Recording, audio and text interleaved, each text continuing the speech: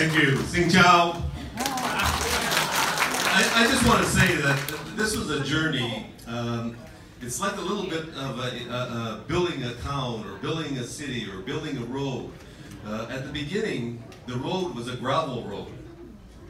And my good friend, some of you know, Ken Nguyen, uh, this started off a few years before that, probably about 2012, 2013. Uh, said, you know, I've got some ideas, and some other people have some ideas. And uh, it wasn't very easy at the beginning. Like anything else that you have to do well, it wasn't easy because, first of all, the city did not have any monuments, they did not have any tributes, nor memorials of this magnitude. You know, sometimes there's a plaque or sometimes there's a tree, but to come forward with an idea like this took a lot of effort and a lot of people.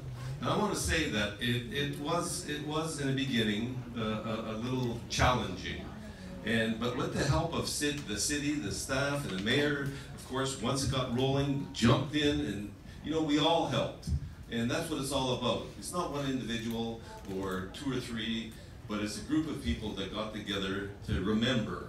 And I think the most important uh, aspect of this whole thing is that we have a memorial, we have something here that we're going to dedicate to the future.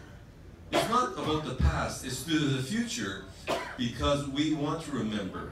And I think all of us have our own backgrounds. I mean, my background, I'm Ukrainian. They escaped the same way, had nothing when they came here, dropped off in a train with a bag. In, in my case, my uh, background, they dropped them off you know, at the side of the train and said, you've got 200 acres, but it's another 30 miles south of here. Well, how do we get there? It's the same sort of journey that the boat people came forward with. How do we get to be part of Canada? You've done it. You've done it. And I think by all working together, I mean, I, I, I, am so thrilled. And I, and I think how I got involved is, I think I must have been the Vietnamese uh, maybe 2,000 or 5,000 years ago. maybe, maybe that's what happened. I don't know. But, but it's all about working together, all levels of government. And especially uh, Michael Tibollo, the minister, I'm sorry, Minister Tibollo. We've known each other for a long, long time. And you're dedicated to all these types of projects. And that's what makes it wonderful for you personally, I know. And uh, by the way, my wife is Italian, you know. So, but, but it's, a, it's a matter that we all get together, and to me it's a very, very happy day.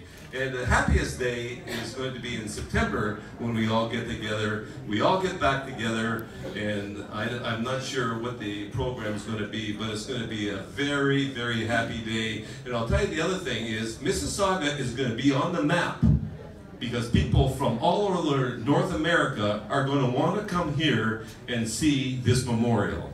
Thank you very much.